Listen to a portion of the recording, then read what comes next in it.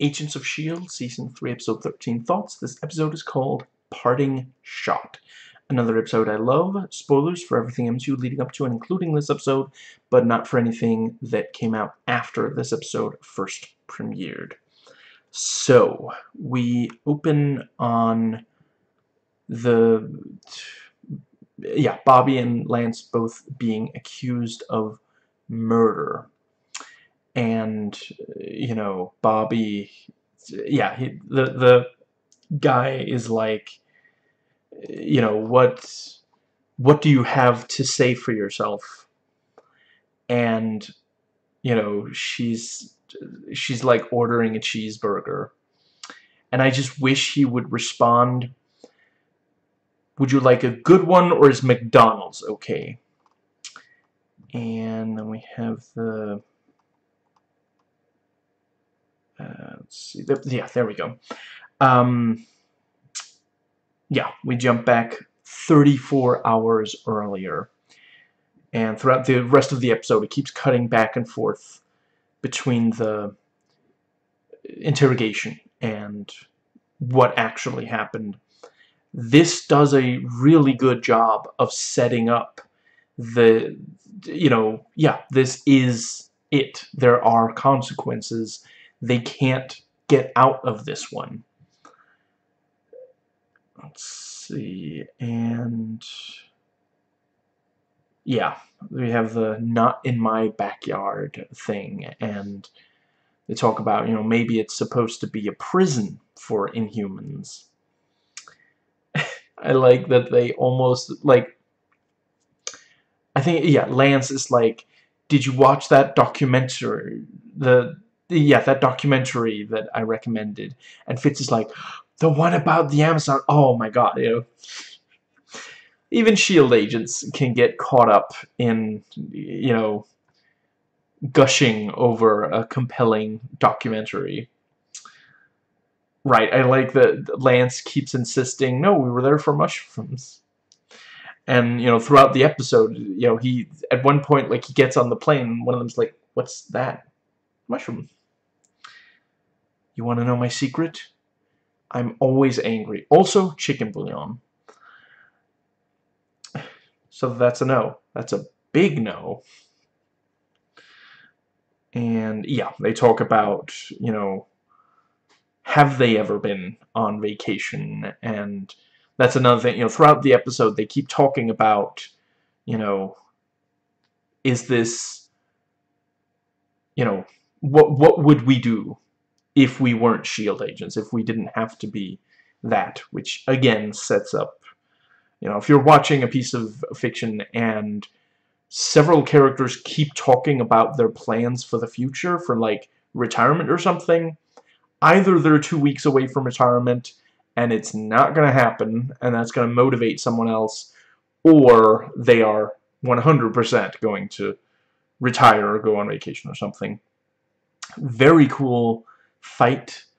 I like the you know, they're they're like we're tourists, you know.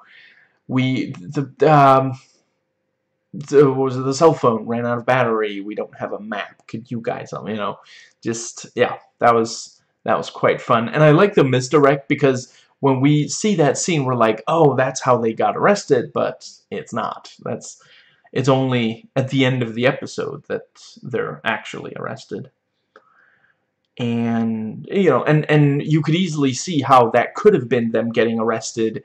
And then when we you know the uh, the rest of the episode is the is after they get back out of the the arrest or maybe the other characters doing something while they're arrested and freeing them at the very end or something.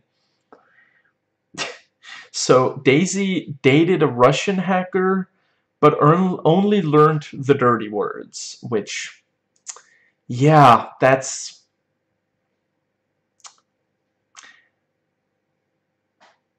That's kind of funny. And yeah, we have the the lie detector scene and yeah, even the baseline questions Lance refuses to answer honestly and I like that the way they get across that it's been many, many hours is the, the bin slowly filling up with one empty coffee cup after another. And yeah, uh, the fact that you know Bobby says I didn't kill that man, the the inspector acts like oh, so that's a conf you know you're saying Lance did, which he's going to count as a confession. Let's see. Yeah, and and Malick says, you know, like, oh, you know, can you imagine if the American government hadn't been so nice as to make, uh, you know, reservations for the Native Americans, which, like, holy crap, that is, I, I mean, yeah, he would think that, wouldn't he? That is, that is how Nazis think about that whole, you know, oh, it wasn't genocide, we saved them and yeah, they talk about, you know, this could be the first inhuman politician, which of course changes things. And ultimately that doesn't really go anywhere, but I do appreciate the the weight of that. And yeah, it's it's a coup, which yeah, that that makes a lot of sense. Again, you know, Gideon Malick being, you know, a fascist trying to take take down various countries like that. Let's see, and yeah, uh, May reiterates that they're not, you know, she and Lance are not friends, and I do appreciate this thing, you know, Lance is like, anyone can snap a, a neck, and May's like, you know what, you're right, anyone could snap a neck. Would you like me to demonstrate that? You know, like that's that's her way of saying stop talking about Andrew. And yeah, talking about the greater good. And yeah, so he snapped the neck of the other guy without even touching him, which, you know, it turns out to have been through the, the power that he has, the shadow thing. Spasiba de nada. I mean, if you don't know that, it's it's the right words, it's just the wrong language, that's all. And then we have, yeah, the Prime Minister is arriving, which, yeah, holy crap. And, yeah, we see that the shadow moves great fight between the the shadow and the, the yeah the various shield agents you know mac um bobby and wait was Bob, crap I, I don't remember exactly who but several of them. I think bobby and um daisy. And yeah it was especially cool. There's like this one like long take where the camera is like turning around and you know the yeah characters are being punched just yeah and yeah Bobby manages to shoot the general which you know knocks out the shadow but does get them arrested Let's see there are no cheeseburgers where we're going it's kind of funny playing a, a line like that straight. And I, I, do appreciate, you know, at the start of the episode, she says she would like a cheeseburger. And then when Lance gets there, I bet, you know, he's like, I bet you would like a cheeseburger. So, you know, they know each other so well. And, yeah, you know, Coulson takes out the, the camera and such, but the, the, you know, they're they are out of options. There is no way for them to keep this. You know, it it will. You know, if if they are confirmed as members of an American spy agency and they killed Russians on Russian soil, yeah, you know, that is, I, I think let's see, they said like Cold War or like that that sort of thing. You know, it's yeah, that's a huge problem. So yeah, I like Coulson just roasting the prime minister. He's like, so it sure is nice of them to take out every single one of your opposition members. Bet you, bet you're really happy that they saved your life, huh? And and meanwhile, you know, the president is like, I can't believe this guy. And but but yeah, you know, it is very accurate that you know it's it's actually it is the the policy of the the Russian you know yeah Russian Russian government you know since the the you know the the revolution since uh, possibly also in the in the days of the czar but certainly after you know it, it is policy to not admit if someone from another country did something that really helped them. You know it was it was true in Stalin's day it's true in you know today with Putin and yeah and we have the yeah, you know, you've got an admirer, and it's a spy's goodbye. And it is legitimately moving. I, I will say that, you know, yeah. Especially, like, Mac, who's been working with Bobby since before either of them met the main, you know, yeah, the main cast that they joined. The, the main cast from the first season.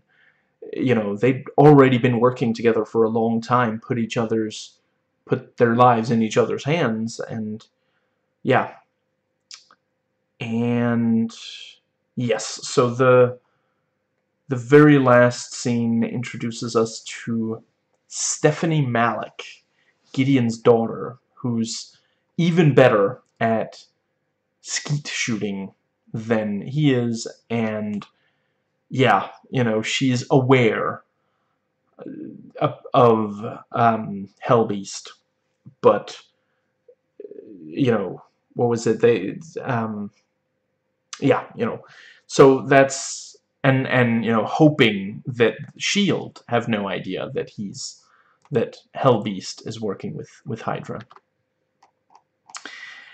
So some IMDb trivia. Let's see. At the bar before the spies goodbye, Bobby and Hunter are drinking from two bottles of Benderry English Ale, a fake beer named after actor Nick Blood's friend Benjamin Deary. Right, Benjamin Deary, Ben Deary.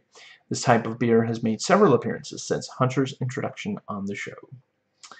Right, and yeah, Bobby's code name Bird is a reference to a code name from the comics, Mockingbird. Adrianne Palicki was named as an honorable mention for TV Line's Performer of the Week for the week of March 20, 2016 for her performance in this episode. Daisy mentioned dating a Russian hacker. This could be a reference to Kurt from Ant-Man. I mean, I'm not one to, like, I don't have any problem with May-December romances, but I would just like to point out there is Oh, okay, only a 13-year age difference. I, not gonna lie, I, I thought that it would be more. Um, sorry, David Dastmalchian. Your your face has character, is what I'm is what I'm saying. And yeah, so this episode was meant to be a backdoor pilot for Marvel's Most Wanted. Set for 2016-2017 season, this show would have featured Bobby and Hunter's adventures post-SHIELD.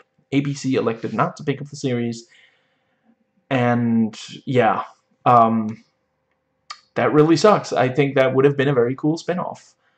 I 100% see how the two of them, you know, there would be an additional cast, actually, if you really want to be frustrated. The let's see, it's, uh, huh.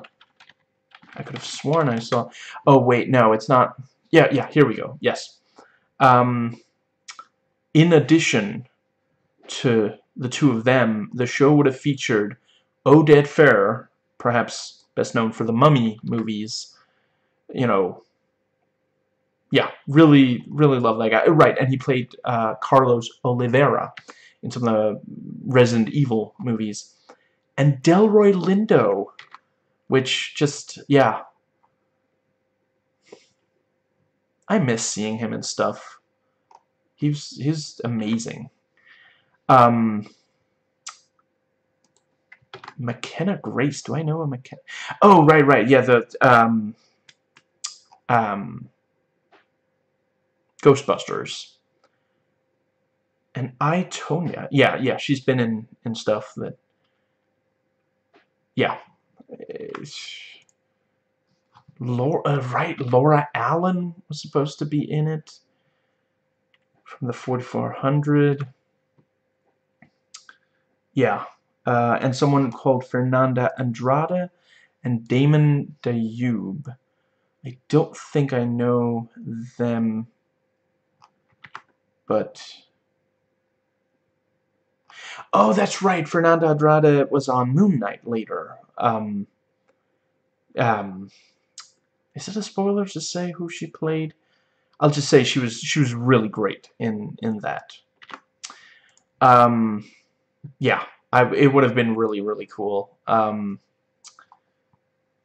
so yeah it's it sucks that it didn't you know it the the Adrianne Palicki has a really like she's been very unlucky with with these you know so yeah she was written off the show specifically so she could be on that show then that show didn't take off. She was in you know she played Wonder Woman in the failed Wonder Woman pilot which I've seen clips of I don't think she was the problem I think she did what they asked her to do. She tried to make it work. Uh, you know, I think there were a lot of bad decisions made uh, for that. Uh, let's see. I feel like there was at least one other thing. I mean, she was on From Dusk Till Dawn. I'm not sure if that was canceled or it ran its natural course. Um, and certainly, I, I think the Orville... Well, wait, was the Orville canceled, or are we just not sure if there will be more seasons? Anyway, but yeah, um, she's great. I really... I feel bad for her for having this this unfortunate streak with, uh, you know, yeah, she was also on Smallville, which I feel like I heard somewhere that her role on that was supposed to be a bigger thing than it ended up being, and yeah. Right, and the last bit of IMDb trivia for this episode, Hunter mentions Bora Bora as a possible location to live. The airport code for Bora Bora is B-O-B, Bob, which is his pet name for Bobby Morse. And I am really looking forward to more of Gideon's daughter. She's played by Bethany Joy Lenz, who Oh, right, she was in Thinner, wasn't she? That was, yeah, way back when. She appeared on Charmed. Oh, she was on Felicity. I actually, I have, I don't think I've seen any Felicity. I'm not opposed to it. I just haven't. Um, yeah, she was on some Dexter, Grey's Anatomy, and you know what I when I think of her, the first, you know, I the moment I saw her, I was like, I know that face. I know her. Where do I know her from? Had to look it up. One Tree Hill, Haley James, and yeah, it's it's really really cool that she's you know she was not necessarily the biggest badass on that. So yeah, she's already more badass in, the, in her one scene here than if you take all of the badassness of her appearances on that show and combine, at least as far as I remember. But I'm honestly not entirely... Wow, that show ran for much longer than I thought. Holy crap. Nine years. I don't, I'm not sure I watched past, like, eight, year three or something like that. But, yeah. Anyway, um... I uh, I might be able to do an episode of the show tomorrow, and if not, definitely should be able to do it Saturday.